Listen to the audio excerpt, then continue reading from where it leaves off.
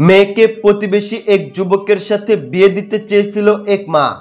ছেলের পরিবার রাজি না। গোপনে ছেলেকে বিদেশ পাঠানোর ব্যবস্থা করায় হিংসা আর জেদে মা মেয়ে মিলে অ্যাসিড মারে ওই যুবকের গায়ে।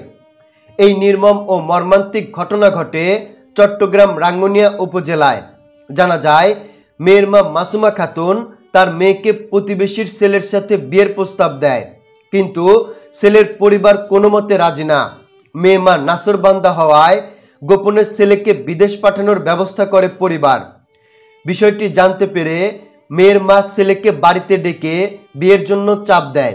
রাজি না হলে হিংসা আর রাগে মা মেয়ে দুজনে মিলে ছেলেটির শরীরে অ্যাসিড ঢেলে দেয়।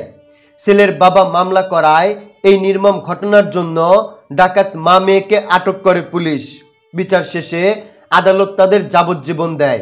দর্শক এই নির্মম ঘটনায় ডাকাত মামের যাবজ্জীবন হওয়ায় আপনার অনুভূতি কেমন তা কমেন্ট করে জানান। ভিডিওটি ভালো লাগলে অবশ্যই শেয়ার করবেন।